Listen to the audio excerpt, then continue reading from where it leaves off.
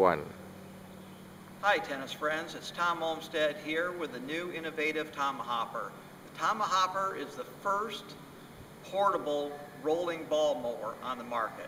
All plastic, will never rust, does not jam. Let me show you how easy it is to put it together. Here we go.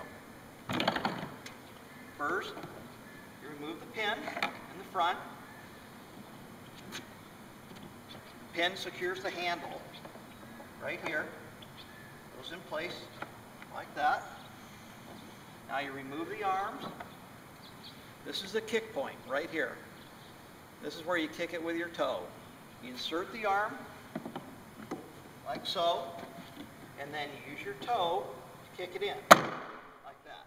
Very simple. Next, the other arm, insert, and kick. Now, the arms are inserted. Now all we have to do is take the basket out, put it on the handle. Here's how you do it. We have a keyhole design. Basket goes on, on this point, at this point right here.